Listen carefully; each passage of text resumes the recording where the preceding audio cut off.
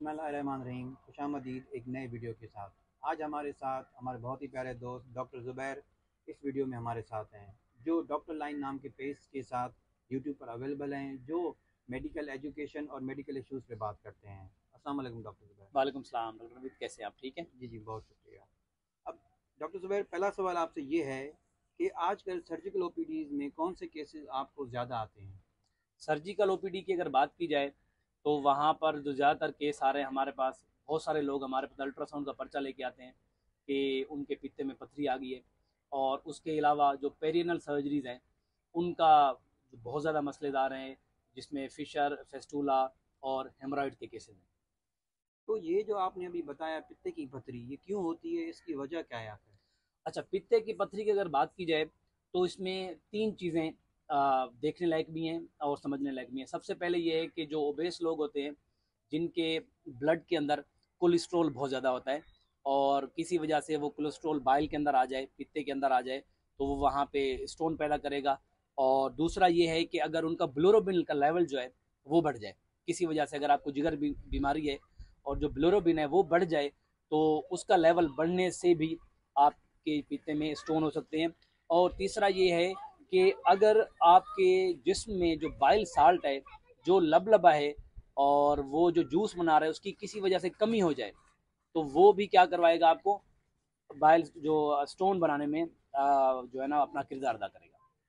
तो इसी के साथ मेरा दूसरा सवाल है कि वो कौन से पेशेंट हैं जिनको सर्जरी की ज़रूरत पड़ती है? अच्छा मैं आपको बताऊँ डॉक्टर नवीद सरप्राइजिंगली बहुत सारे लोगों को नहीं पता पित्ते की पथरी तकरीबन नाइन्टी टू परसेंट लोगों के अंदर आ जाती है। लेकिन उनमें से हर पित्ते की पथरी का इलाज ऑपरेशन नहीं होता। ऐसे लोग जो ओल्ड एज हों, ऐसे जो डायबिटिक हों, या ऐसे लोग जिनकी पित्ते की पथरी वहाँ से स्लिप होके नीचे पित्ते की नाली में आ जाए, या किसी वजह से वो पित्ते की नाली से भी नीचे आंतों में आके रुकावट पैदा करे, सिर्फ़ इन लोगों को पित्ते की पथरी का ऑपरेशन कराना चाहिए। वरना अगर आप सेहतमंद हैं और आपको कोई मसला नहीं है भले पित्ते की पथरी अल्ट्रासाउंड में आ भी जाए तो आपको ऑपरेशन कराने की नीड नहीं पड़ती। अच्छा इसी के साथ मेरा आपसे आखिरी सवाल ये है कि वो कौन सी किस्म की सर्जरीज़ हैं जो पेशेंट को करानी चाहिए? उनका हमें ये बताएँ कि बजट के लिहाज से पेशेंट सेफ्टी के लिहाज से और हॉस्पिटल स्टे के लिहाज से कौन सी सर्जरी है जो पेशेंट्स को करानी चाहिए? ये बहुत इंपॉर्टेंट सवाल पूछा है और बहुत सारे लोग हमारे पास इसी चीज़ से आते हैं कि हमने ये सुना है कि जो लेज़र सर्जरी होती है जिसको मेडिकल में लेप्रोस्कोपिक सर्जरी कहते हैं कि उसके अंदर पित्ता पूरा नहीं निकालते, आधा पित्ता निकालते हैं और जो चीरे वाला ऑपरेशन है, उसमें पूरा पित्ता निकालते हैं। ये बिल्कुल गलत कॉन्सेप्ट है। दोनों के अंदर पित्ता पूरा निकाला जाता है और जो लेप्रोस्कोपिक लेजर सर्जरी है, वो एक न्यू और एडवांस टेक्निक है।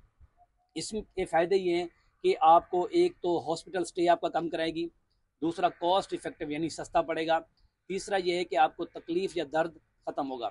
अब मैं आपको बताऊँ, दुनिया में लेप्रोस्कोपिक जो पीते की पथरी है, वो डे केयर सर्जरी मानी जाती है। इसका मकसद ये है कि आप सुबह हमारे पास आएँगे, बगैर कुछ खाए पिए, और उसी दिन आपका ऑपरेशन होगा, और उसी रात आपको हॉस्पिटल से डिस्चार्ज कर दिया जाएगा, और एक दिन छोड़ के उसके नेक्स्ट डे पे आप अपना काम काज शुरू कर सकते हैं। जबकि इसके चीरे वाली सर्जरी बिल्कुल इसके अपोजिट है। आप हॉस्पिटल के अंदर दो से तीन दिन तक स्टे करेंगे, आपको वो महँगा भी पड़ेगा, आपको तकलीफ़ या दर्द भी ज़्यादा होगा और आप अपने जो रोज़मर्रा के काम है, वो तकरीबन चार से पाँच बासकत हफ़्ता हफ़्ता लग जाता है। और एक मेन चीज़ ऐसी है कि वो आपको सर्जिकल साइड इन्फेक्शन इसका मकसद ये है कि जहाँ पे आपने चीरा लगवाया है, वहाँ पे जो इन्फेक्शन का ख़तरा है, वो भी उसमें बढ़ जाता है। आपका बहुत बहुत शुक्रिया।